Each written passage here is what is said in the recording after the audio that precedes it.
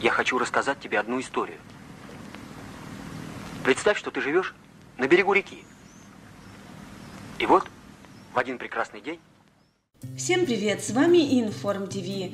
Борис Токарев главным делом своей жизни считает режиссуру, но популярность ему все-таки принесли работы в кино в качестве артиста.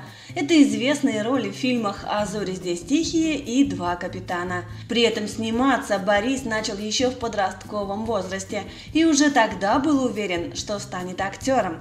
Подростком он играл в театре имени Пушкина и параллельно пытался совладать с учебой в школе. Свою любимую Людмилу Гладунко артист встретил примерно в это время. Им обоим было всего по 15 лет, и молодые люди играли вместе в картине «Где ты, Максим?». Эту первую любовь пара пронесла через всю жизнь. Они вместе шли поступать в Авгик, бегали на пары, а после получения диплома сыграли скромную свадьбу.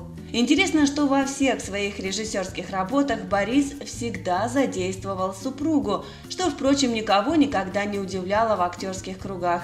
Так было принято и в советское время, и сейчас. В 70-х у них родился сын Степан. Они очень долго его ждали. Женщине было уже за 30, и этот поздний ребенок стал для пары настоящим подарком. В юности парень тоже снимался в кино. Он появился в картине папы «Не покидай меня, любовь».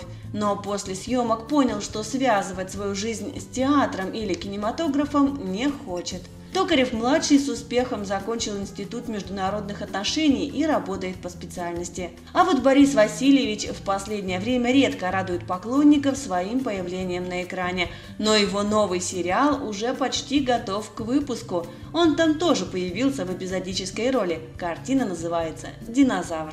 Если вы помните этого талантливого актера, ставьте лайк. Не забывайте подписываться и жмите на колокольчик. Удачи!